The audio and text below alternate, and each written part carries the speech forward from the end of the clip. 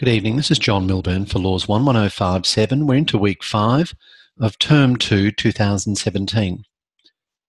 The emphasis this year is on two things actually, three professional presentation, legal research skills, and technology.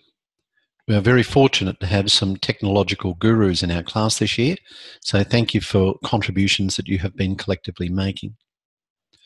I'm somewhat uh, advanced in my marking of the first assessment to do with the professional portfolios. For those that have prepared material, on average, it's very good. Most of you will get good marks. And when I say good marks, somewhere between 14 and 19 is what I'd regard as a good mark in law. So well done. And uh, the work that you've been presenting is good. Okay. Um, given that one of the key areas that I'm keen to advance is legal research, I can indicate to you that we're going slowly through the areas um, week by week now. There will be a catch up phase. In order to understand the legal research process well, you of course need to un- identify the appropriate websites and then work your way through those websites. But when you work your way through the websites, you need to be thinking like a lawyer.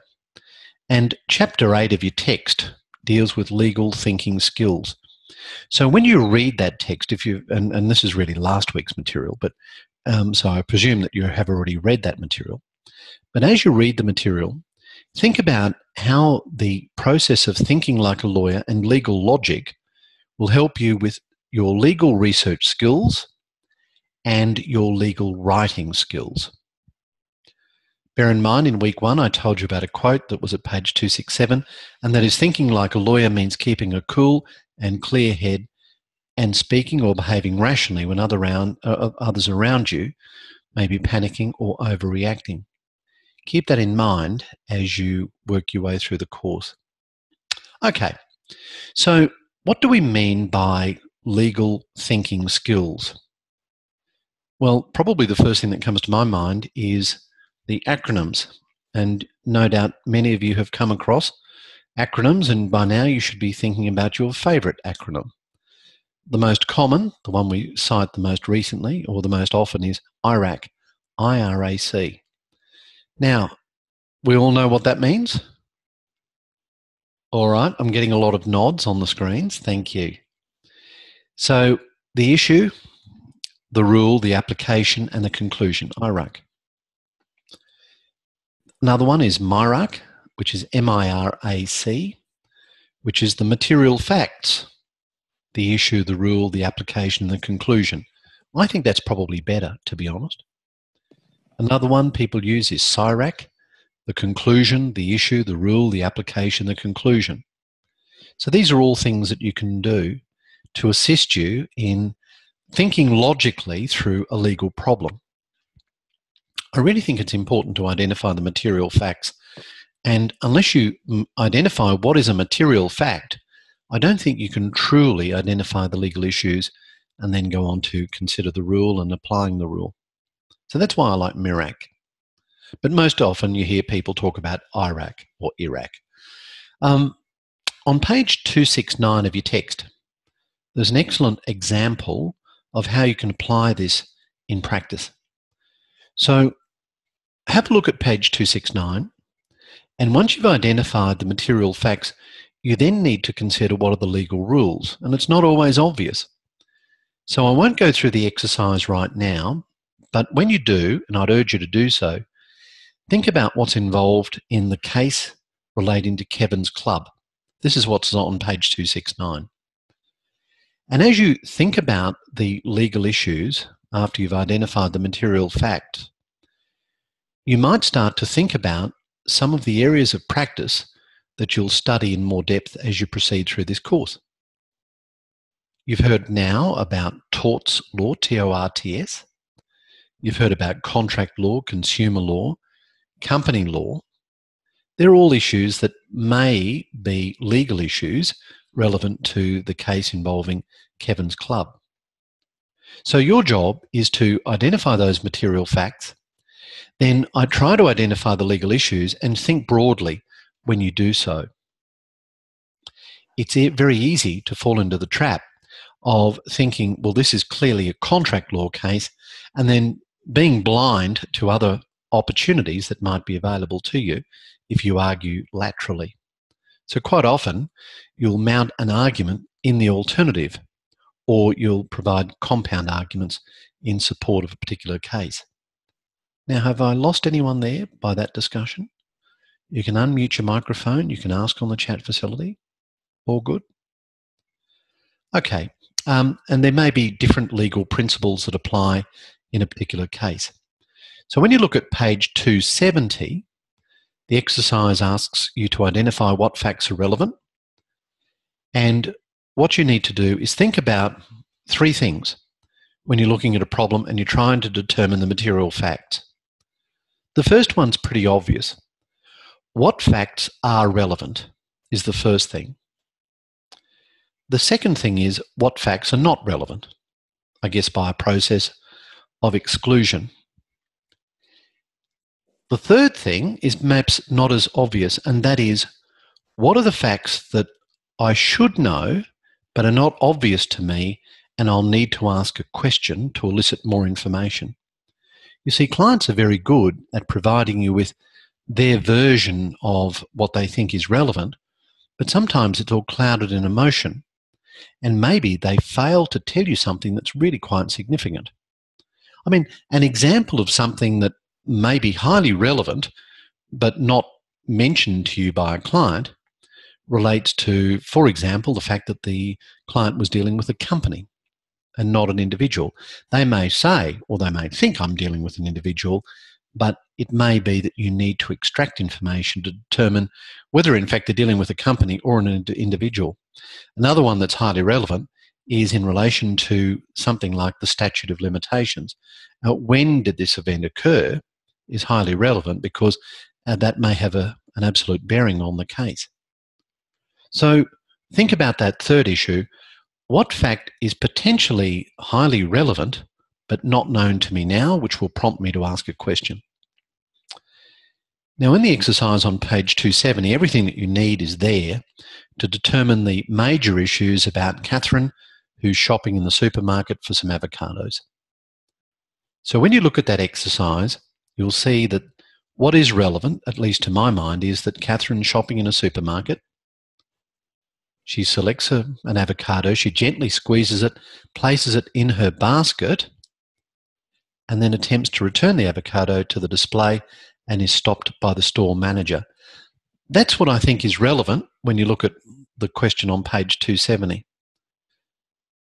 So, when you look at that question on page 270 or that scenario on page 270, there's a whole lot of things that aren't relevant from a legal perspective.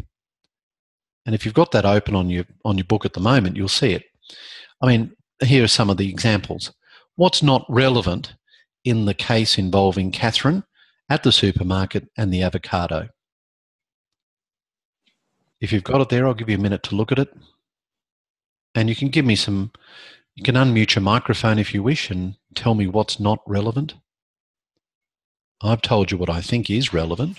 The fact that she was cooking a Mexican meal. Mexican meal, thank you, Sundari. Not relevant. Anything else that's not relevant? The fact that she went to get corn chips. Corn chips, yep, not relevant. Thank you, David. That it was a Saturday morning. Saturday morning, doesn't matter two hoots whether it was a Saturday or not. Yep, very good. They're the first four things, three things on my list. Sarah? No? It's Cassandra. I'm here. I'm just looking. I'll be there in a minute. That's all right. Anita. So I said the corn chips, but I'm also wondering if the fact that she squeezed the avocado is relevant or not relevant. Um, yeah, arguably it's not. I think it probably is relevant in terms of the overall narrative, but arguably it's not relative uh, relevant. Sorry, I did put it in the relevant column but mm-hmm. I could stand to be corrected there. Thank you, Anita. Okay. Cassandra?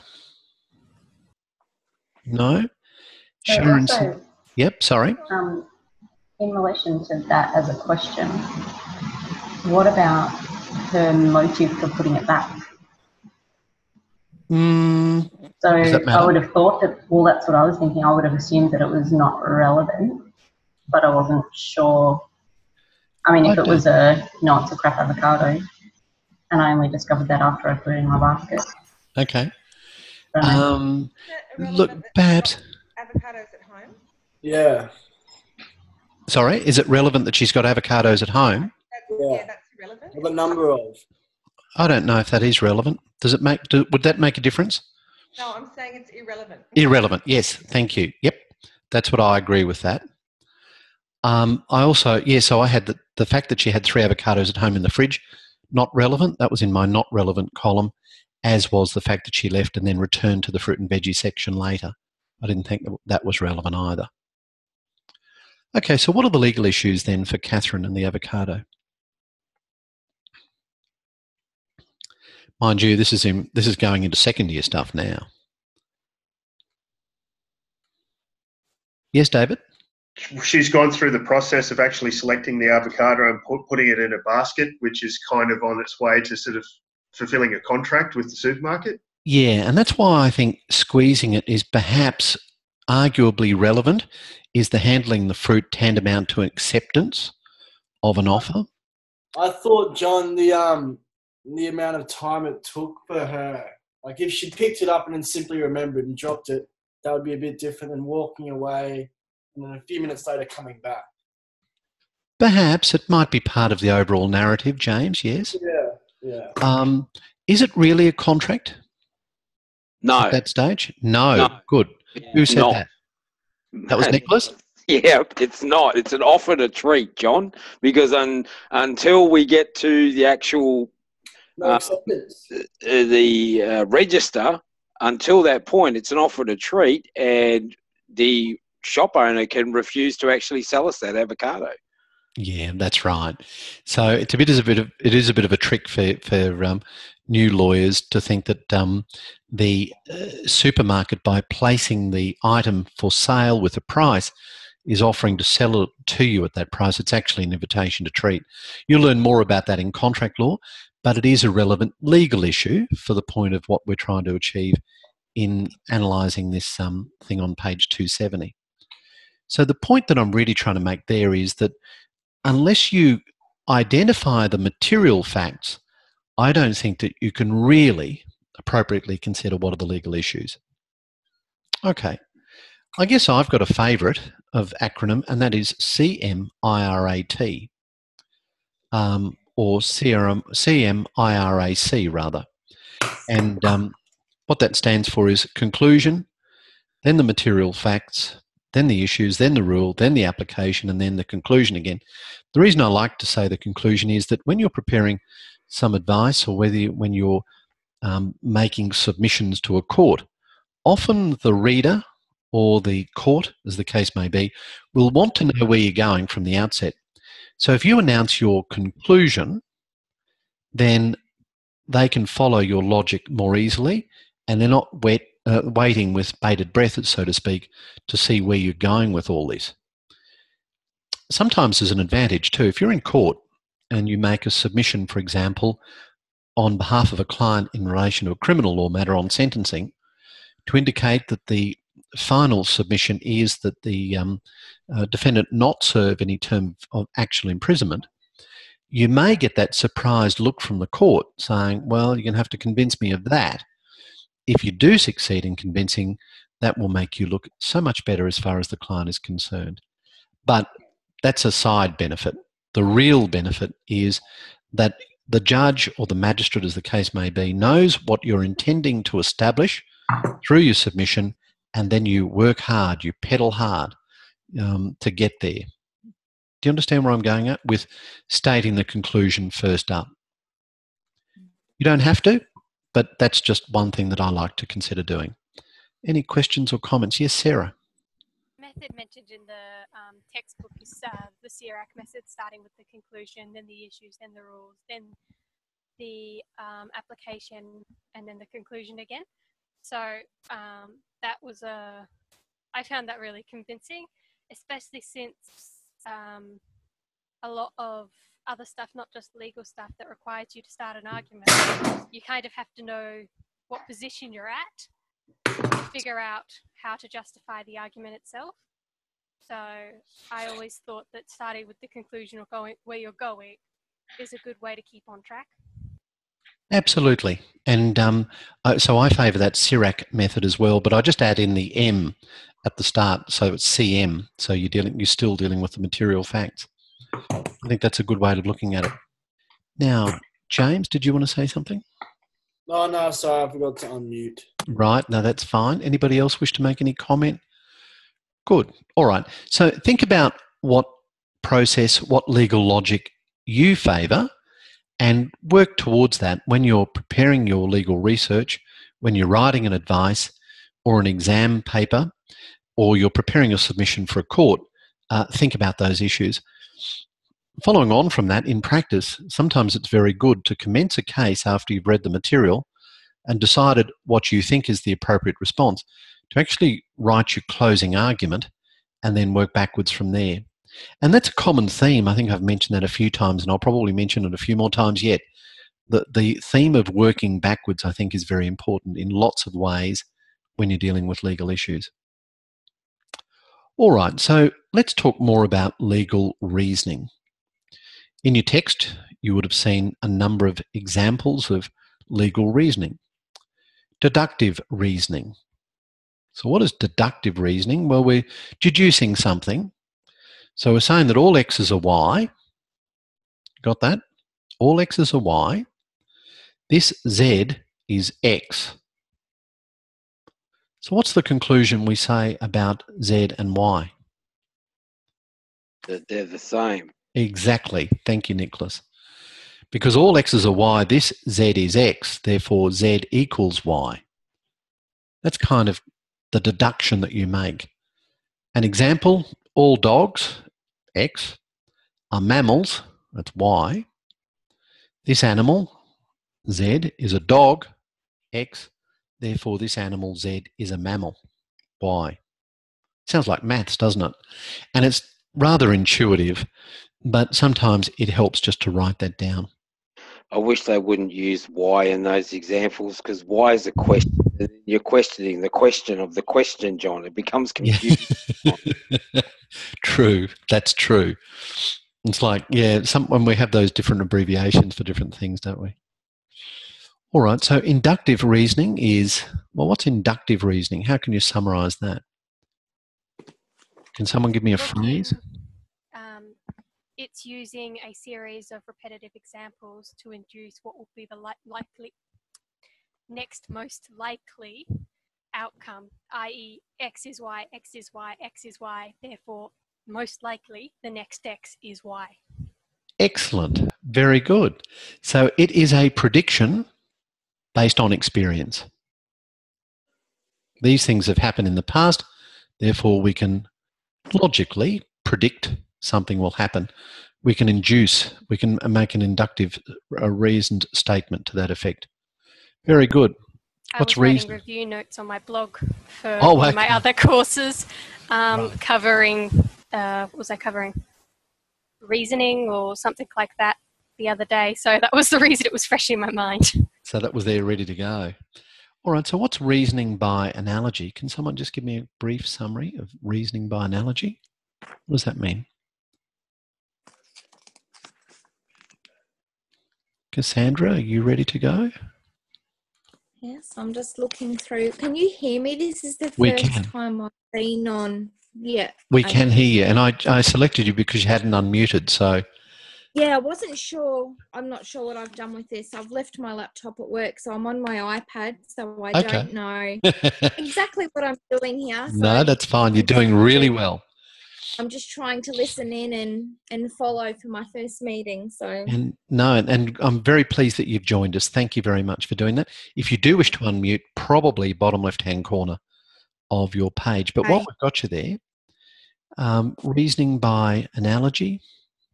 Any thoughts on what that means?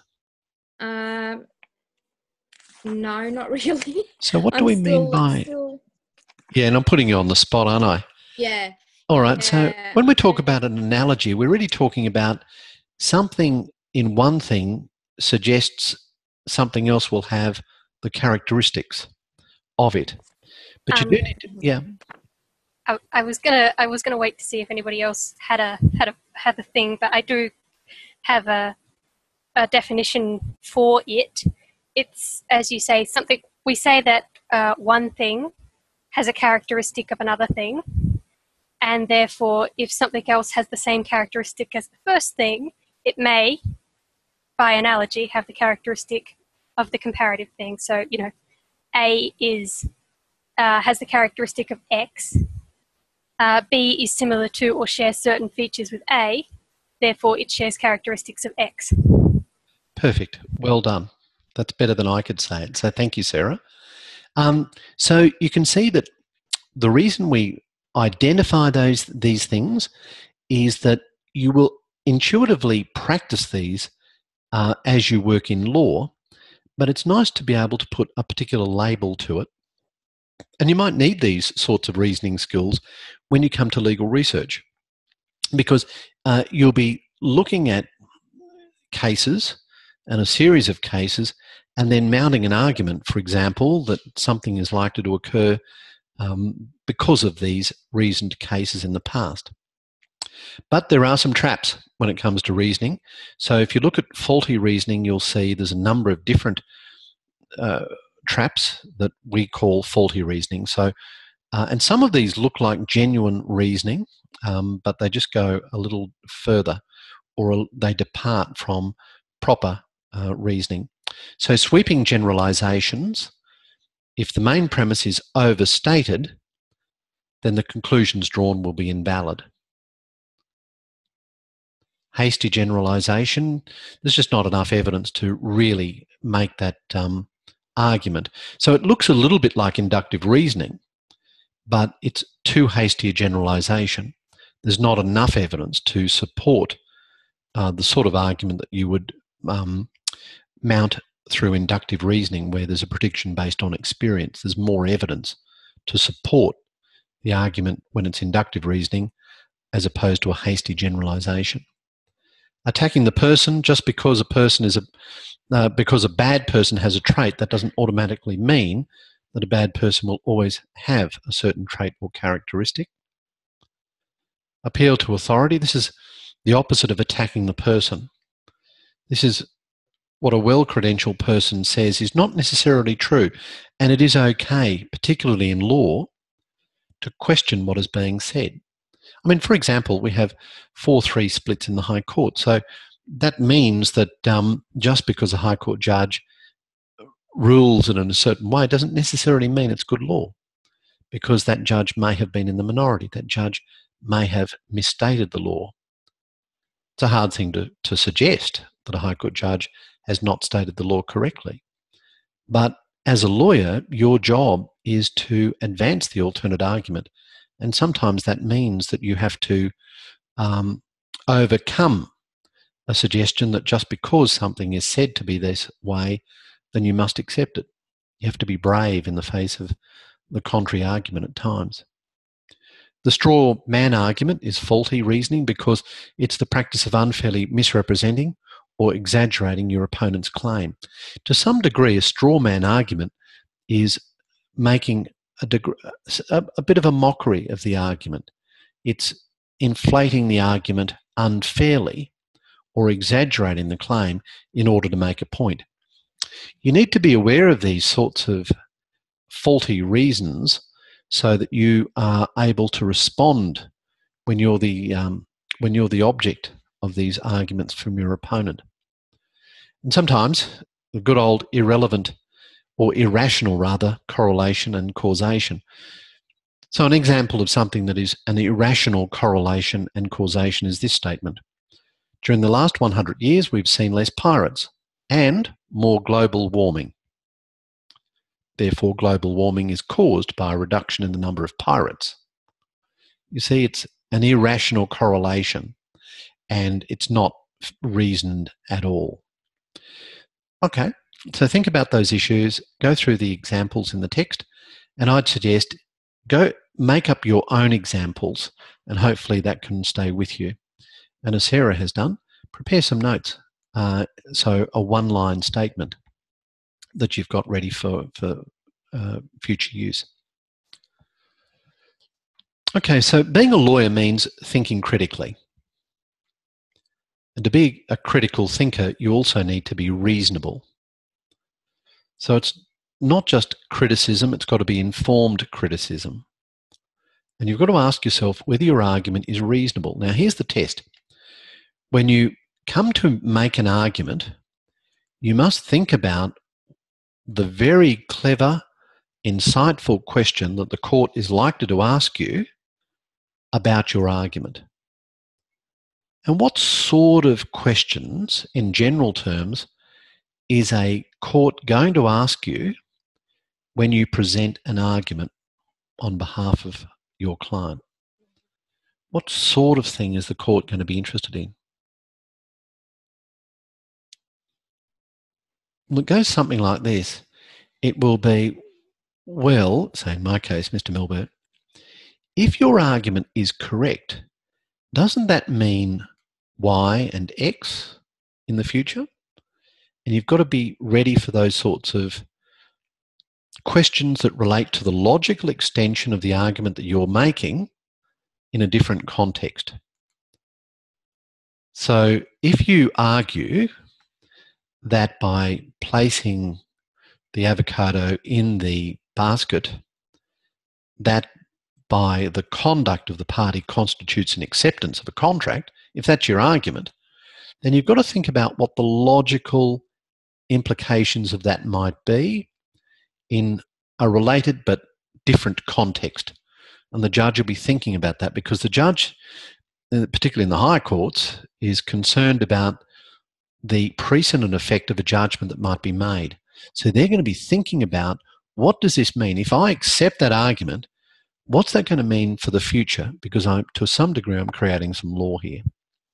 So that's what I mean by think about the logical extension of your argument and the questions that you may need to be ready to answer if you're in a court situation. Now, any questions about that? All clear? Yes, Lisa? Did you have a comment there, Lisa?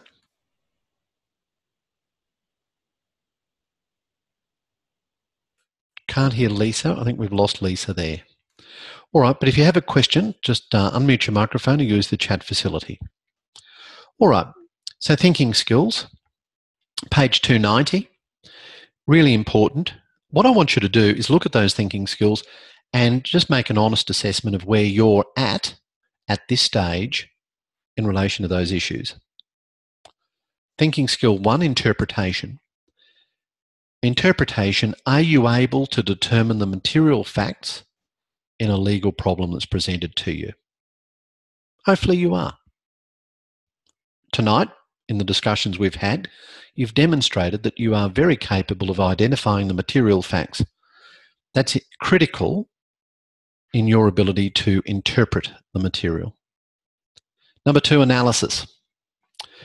Are you able to identify the hidden features? Are you able to look at the material carefully enough to understand that there might be something that's hidden and you may need to go exploring? That's what we mean by analysis.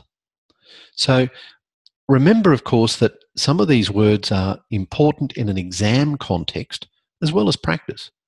Because your exam question throughout your law degree might be here's a statement, blah, blah, blah, blah, blah.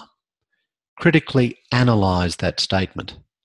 So if you're going to accept what I'm saying to you now about analysis, it means that you are required in that statement to identify the hidden features, amongst other things. Evaluation. You'll see this as well. Evaluate um, you know, in this decision, this decision said this and this and this. Evaluate the decision. What does that mean? It means your ability to assess it. Inference. We've talked about that as part of legal lo- logic. Your ability to draw a conclusion. Explanation.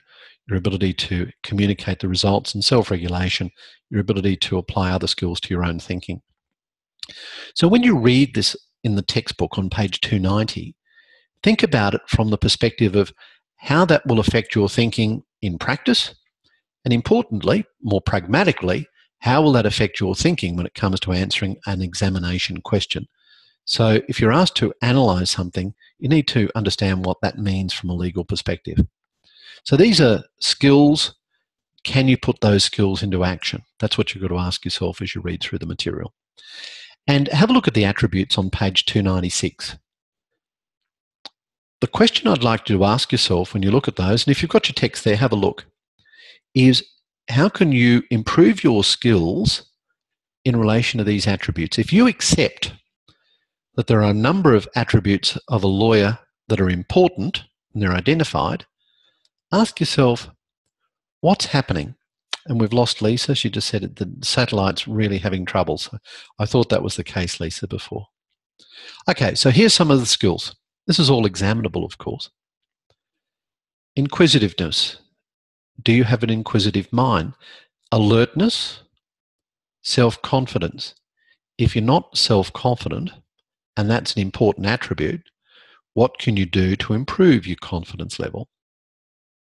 Knowledge is a key to that, experience, working hard. Open mindedness is important, flexibility, fair mindedness, self honesty, prudence, diligence, and persistence. So I agree with that list of attributes for a legal practitioner. That's all very well. Don't uh, read them as if it's a list that must be memorized. Read them as a list and ask yourself, how can I improve those skills? Creative thinking. As a practicing lawyer, you need to be creative. You wouldn't have thought being creative was something that practicing law is all about. You'd think it's more applying the law, but you've got to be, you really do have to be very creative. So I take ADR, one of the second year subjects, and that's all about dealing with alternate ways to resolve disputes other than proceed by way of litigation. So, as a lawyer, part of your job is to identify a possible range of solutions to a legal problem and have ways to, to deal with different uh, difficult conflicts. In about week eight, we will deal with that. We'll do some brainstorming sessions and um, we'll be looking at scenarios and trying to put all this together. So, for the next few weeks, we're dealing with legal research and legal thinking, and then we'll put it together in a more concrete way. By that stage, I want your legal research skills to be right up to scratch. So, speaking of legal research skills, what do we mean in a more abstract manner? Well, the first thing you've got to do is think about this. From a legal research perspective, where do you begin when approaching a legal problem. You've now identified the material facts. You've perhaps identified in general terms the legal issues. Where do you begin? Well, we've mentioned maybe using IRAC or whatever acronym you, you think is important, and that can be your overall template for solving the legal problem. But you certainly need to know the, le- the library resources and the databases that are available to you. We've mentioned a few, we'll mention a few again tonight if you haven't had a good look around these databases, then nicely, I'll be disappointed because I want you to go searching through these databases. I want you to explore. Part of my personal email address has 1492 in it. People laugh and they said, 1492? You, you must be old. I thought, no, that's an exploration year. Those of you that have got some history background know what that means. So, um, when you're doing your research, just go exploring. Just spend a couple of hours just poking around, playing with the websites, following links. No particular uh, technique in mind at the start, but just get to know what's available to you. From that, you can develop a research strategy. And you need to have a search strategy. You need to be able to answer this question. All right, says a prospective employer. Legal research. What is your search strategy to a legal problem? Can I have an answer to that? Okay, if you don't have it now, that's fine. But I was going to say, did you want a legitimate answer? Because do you, do you have one, uh, Sarah? I do, in fact, have a reasonably legitimate answer. I was Okay. at the hospital today, so I had time to work on my start of next the next assignment. Okay, so Do you want to research share that with us? strategy. Yeah, thank you. All right. Uh, step one: identify the problem and what I need to find out. What I already know. So I need to know the topic, the area, background information, that sort of stuff. Then need to know where to look for the information. So in the case of background information, am I looking at textbooks, journal articles, commentaries? Then I need to identify what primary sources are going to be relevant. Uh, criminal, civil law, and then what areas specifically under those areas. Um, then I need to know what argument I'm making so that I know what information I'm looking for when I'm doing my reading. And then it's time to take notes from the reading, uh, finding relevant content to support my argument and also points that might be against my argument that I can counter, essentially. Um, and then it's writing and proofreading. Um, and then it's looking for flaws in the argument, so you know if you need to do more reading or find more information. Um, and then it's final proofing and practice, essentially. That's excellent. Well done. You are well advanced into the second assignment. Does anyone wish to make an? I I think that's great. But you each need to develop your own list and your own technique for research skills and what is your search strategy. So thank you, Sarah. You might share that on UCROO, but we'll see. Thank you. Um, it'd be good if you did. Thank you, Sarah. Okay, so if you're in an employment situation or you're answering a question about research strategy, you can't say, I'll just Google it. It's not going to be, that's not going to work. Um, so when you're doing your, your legal research, you understand the need for referencing your material and the importance of referencing correctly. Okay, so let's break it down a bit more. Legal research for legislation, legal research for case law. I think that's a starting point. Uh, in that order, secondary materials probably after that. So you're going to have to have some answers to these questions. And I'll go through them quickly. And you don't you don't have to write them down, but I just want to see if you actually know the answers to these things. So the first is, if I said to you, legislation, where do you find legislation? Can you tell me? You don't have to answer, but I just want you to know can you find legislation? What website would you go to? Any, does anyone want to answer? I think it depends on um, what sort of legislation you're talking about too. So whether it's Commonwealth or state, or whether it's uh, international. They are Perfect. Absolutely, yes. So if it was Commonwealth, Jackie says AustLII. Legislation.gov.au. legislation.gov.au. Okay. So you've got to know exactly where you'd go. What about regulations? Where would you go for that? And Gay's right. It depends on whether we're talking state, Commonwealth. Okay, you don't have to answer now, but I just want you to be able to know these things so that if we have these sorts of questions raised later in the course, but of course you'll have your answers ready to go. How do you make sure your legislation is up to date? You check the dates and the uh, for any updates, reforms, or such like that. Excellent. And if I said to you, all right, when you're doing your legal research into legislation, if you had to find an earlier version of the legislation, where would you find that and how would you find that? You need to know that. The reason I say that is that you might be dealing with a matter uh, that relates to a charge, a criminal offence from 1990. So you want to know what the law was in 1990. So how would you find that? Where would you find that? You don't have to give me an answer now, but I want you to be able to know these things. So when you're looking at these websites, I want you to be thinking about these sorts of aspects. How do you find It- the? Yeah, sorry. I was going to say the simple answer to finding all of those things is just go and watch Anthony Marinak's video on finding case law, John, or finding legislation, and all the answers are there.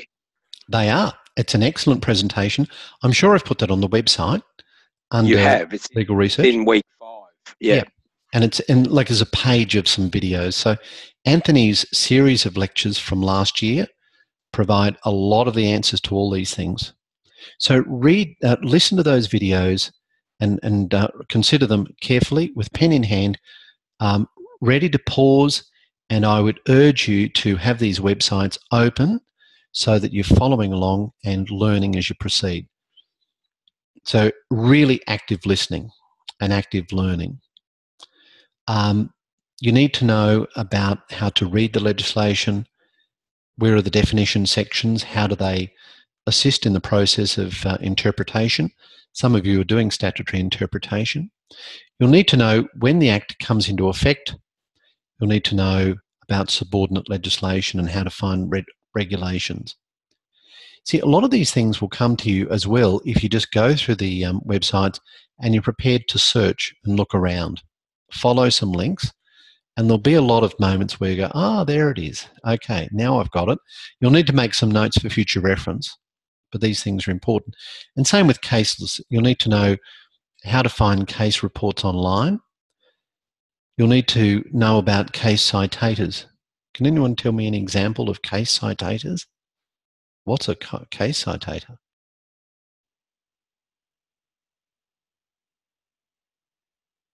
Isn't it where um, you go and find the original case and then all of the other case sets, cases that it cited to make its point? Yeah, um, that's that's true. But sometimes a case citator will help you in terms of identifying the cases that are relevant to a particular section of legislation, or Um, the cases that are relevant to a point of law or an issue, a legal issue. Yes, Sarah.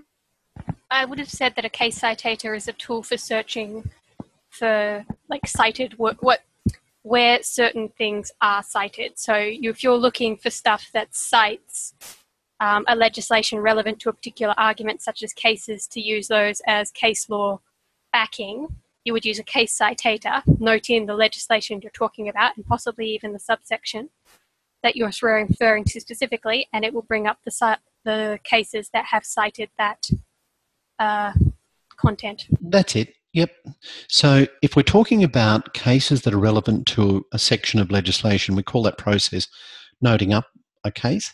So um, a really easy way to do it, one you can do straight away, is go to AustLII, have a look at some Queensland legislation, have a look at, oh, I don't know, Section 74 of the Property Law Act, um, and then go to Note Up, which is on the top right hand corner. Click that, and you'll see a list of cases. And Anthony does deal with all of these things. Um, other citators, Jade BarNet is a really good citator. Um, there is Casebase, which is through LexisNexis, or First Point, which is through Westlaw. So they're all legal citators. Um, you, you, probably only need, say, maybe three or four good citators uh, references. Two of those are free, two of those are subscription. Uh, definitely get to know those. And from that, you, you can ask yourself questions like, all right, so what is this head note? You'll need to know the difference between authorized and unauthorized versions of cases. Um, you'll need to know uh, how to read the case, um, how the majority opinion is formed, um, what, what are the dissenting judgments, how are they used, things of that nature.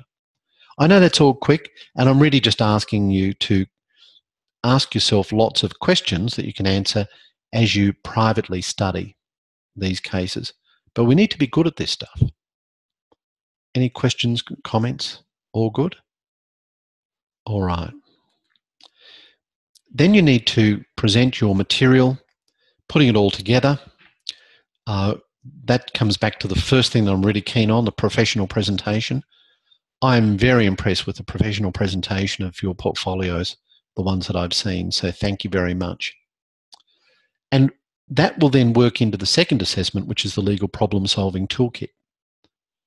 And you know, the idea of that second assessment, the toolkit, is this it's got to be really personal to you.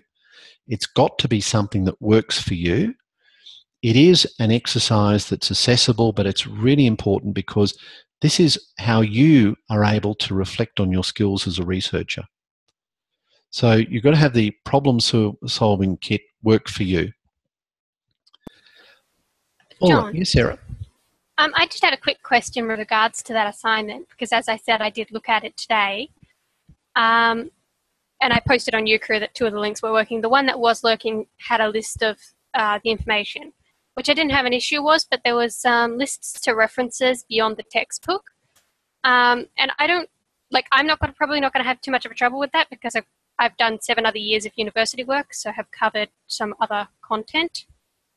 Um, but I was wondering what sort of other references you were looking for with regards to uh, strategic planning for problem solving. Yeah, that might be a good one if you don't mind for you, crew, Sarah, so that we can explore that a bit more in depth. Would that be okay? Yeah, okay, I'll chuck it up after this. Oh, I. I like I said, I only just got home from driving back from Perth, so I haven't even got to the website yet. Wow, driving back from Perth, that's a long drive. All right. Well, actually, I'm not sure where you are. maybe I'm thinking from a Queensland perspective. But um, It's a two hour, two and a half hour drive. oh, okay. Um, we went down yesterday. My granddad had uh, some brief, plas- uh, like a skin graft done on his head today, and then we had to come back tonight. right. So a long work. drive, but thank you. Yeah. Right. So if you could raise that, that would be good. Um, and Hannah asked a question about the toolkit. Uh, I'll get you to raise that on UCROO as well, Hannah, so that we can start to explore those things in a bit more depth. Uh, so I'm just not uh, getting too caught up in it just at the moment. Okay, so if we have to talk about some basic skills, I would refer you to section. Uh, sorry, section. I'd refer you to page 192 of the New Lawyer. Page 192 provides you with an overall scheme, if you like, for your basic skills. Number one, you need a systematic approach. You need to know where to look. You need to obtain good quality information. And look, I think really if you know LexisNexis and Westlaw, um, possibly CCH, that'll be the, the three main ones from the university library, the subscription services.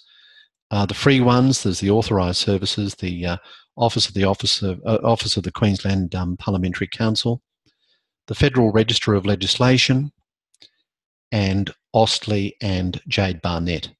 They're probably the four that come to mind that are free services, but there's more than that. Oh, the Supreme Court Library is excellent too. If you haven't had a look at the Supreme Court Library website, do do have a look at that. Okay, so the basic skills, systematic approach, know where to look, get good quality information. Then this is really important: the issue of reading actively and uh, efficiently. Um, you've got to speed read, and you've got to be able to peruse. Peruse means read in detail. Sometimes people think peruse means scan over it. Scanning is very different to perusal. Um, and with the pace at which you read depends on the circumstances. And often you need to, to adopt this practice of having a broad approach and then narrow down. Once you've identified what you think is the real uh, deal, the important aspect, you then need to peruse, you need to read carefully. But all of that is in the context of thinking laterally, brainstorming, which we'll deal with later on. I'd urge you to read um, page 196 of your text, which deals with planning your research and thinking about the way you approach this. This is all part of the toolkit for you. Consider the timeframes, the cost, the consequences. Commence with the broad reading, the primary sources, I think, first. Primary sources, we should all know this now legislation and case law. Secondary sources, mostly commentaries, textbooks, law journals, things of that nature. Uh, does anyone know about Boolean connectors? Has anyone come across that? Boolean? That's where you need to perhaps connect a few words or phrases. They're the search connectors for you interfacing with a lot of search websites there and or in capitals. Um, you can also use parentheses um, and uh, like question marks to indicate pluralisms or variations on the start of a word and stuff like that. Yes, that's very good. Thank you, Sarah. And um, Sharon um, and Melissa both said the same things the and or. So, what you might want to do is try to find material like this which is the Westlaw Quick Guide. Um, and these websites have this material readily available. And if you look, for example, at the Westlaw Quick Guide, on page three, and you probably can't see this, but that's a list of some search terms and some of the techniques that you use. Now, if you're not using these techniques, legal research becomes very difficult. So that uh, that guide that I'm showing you is only six or seven pages, but literally just print it, have it there ready to go, work your way through that. So when I'm asking you to explore these sites, if you have something like that quick guide with you for each of the sites, and they all have them, it's going to make the process much easier. Do that in conjunction with Anthony Marinak's lecture in the background, and it'll be easier again. But I can't stress it enough. We have to master this now. Now's the time to do it. We don't want to be asking ourselves, how do we do legal research when you're in third year? We need to do this in the next three weeks. Okay? Uh, and do that in conjunction with your preferred legal logic. So that is identifying the facts, identifying the issues, locating the rules, and then interpreting and applying those rules to get your conclusion. See, the rules might be in the statute, the rules might be in the case law, the rules might be in the regulations, the rules might be a combination of all those things. It might be the legislation as interpreted by the case law. So you need to be able to find these things. Uh, so when we say, you know, that MIRAC, locate the rules, locating the rules isn't necessarily as easy as you might think at first glance. You need to practice that. You need your legal research skills to properly be able to identify and locate the rules, is really the point that I'm trying to make. Once you've done your research, very importantly, you need to follow the citation rules outlined in the Australian Guide to Legal Citations. Has everyone seen, has everyone got a quick version of that? If you look at page 222 of the um, text, you'll see an idea of how things are laid out just um, by, by looking at what others have done. But it really is useful if you have a, um, a guide to the legal citation. I think the Deakin guide has been floating around a bit. That's very good. Yeah. UQ have It's in um, it's in it's in uh, UCROO for a download, John. I put it up there last week. Great. Thank you, Nicholas. If you haven't taken advantage of uh, what Nicholas has added, um, do download, say, the Deakin Guide to the AG um, or whatever guide you, you prefer. Actually, at the back of the AGLC, there's a bit of a summary, so that in itself would be really useful. To be honest, you won't be able to read all the AGLC, it's too involved, but you must have a summary of it and have some quick guides. At the moment, we're not too concerned. At the moment, I'm really concerned to see that you are acknowledging the source of your material if it is sourced elsewhere, the Humsey Hancock situation. Um, but very soon it will be a case of acknowledge the information you've sourced elsewhere and cite it appropriately, correctly using the um, AGLC. Okay, the research databases, you know where to look. Definitely look at AustLII, Jade, Comley, look at Lexis, Westlaw, and I take it everyone has now accessed the CQU library. Do I take that that's the case? Yes? If, now, if you don't know how to access the CQU library, please don't be embarrassed. Just, just ask, but ask now. Ask in week five. Don't ask in week 10 or 11. Then it, then it does start to become embarrassing. But if you ask now, if you don't know how to access the library, um, probably I'm talking to those that are watching this recording after the event more than the ones that are here, perhaps. Um, just ask. We've a lot of people that are willing to help. This is a really good group for helping each other. I, I'm so impressed with the support and guidance you give to each other. Please keep it going. I was going to say, John, too, there's a, uh PDF in UCROO with a link to all of the sites that we've mentioned over the last couple of weeks, with the exception of the ones that are available through the CQU Law Library. I didn't feel the need to include them because it's something that people need to access from inside of uh, their online accounts anyway. Yep, and I saw that. Thank you, Nicholas. That's that's great. Having just that brief summary and have those things uh, in your favourites. Have that document that Nick's um, prepared, ready to go, and then start to work your way through those things. Um, make sure that Yeah, you. the idea behind that document, John, is that you can download it and then send it to your own email account so that no matter where you are in the world, you can open your email and access all of those sites at any time, anywhere. Absolutely. And I, um, when I had an iPhone up until last year, I was able to download the AustLII app, which I found really useful in court. I've got a Windows phone now; I can't access AustLII through that app, but uh, you know that's a really good resource as well for something on the run. Okay. Um, also, just look out for uh, information guides. There's um, some very good material um, I'm going to ask you to have a look at the Queensland legislation website. That's the um, uh, legislation.qld.gov.au. That's the official website at the moment. It's about to change, and follow the link and have a look at the test website under construction. It's much better, um, and you'll you'll need to know that. I mean, if I'm running out of time, I wanted to show you a few things here with this. Um, I'll see if I can call it up, but um, I may not have time. But for example, just by way of contrast, have a look at the Planning Act 2016 for Queensland under the current website, and then go to the test website under construction, have a look at Planning Act, and you'll see the difference. You'll see how much better it is. That's just an example of an act. Time permitting, I would have shown you that.